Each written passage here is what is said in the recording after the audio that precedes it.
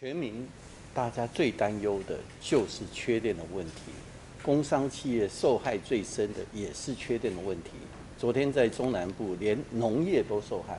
那大家说欠电的电费给啊不好啊，这是对苏院长很大的一个警醒，不要再耍嘴皮子，拜托，赶快针对全国能源的危机，大家召开全国能源会议。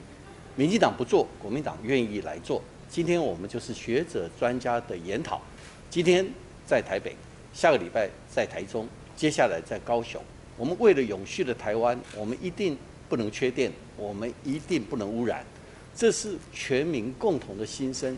拜托苏院长，你每天耍嘴皮子，骂骂在野党，难道台湾就会有电吗？等会给我得更吗？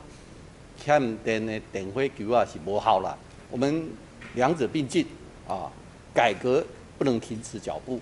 那查会或查弊一定是勿忘勿重，两者并进。那我们这个礼拜就会针对改革方案提出草案。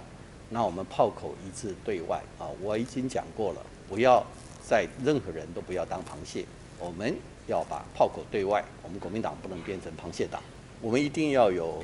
这个战战兢兢的心情啊，呃，一种面对危机的一个压力。但是我也知道，最近有很多各党各派策略性的民调纷纷出笼。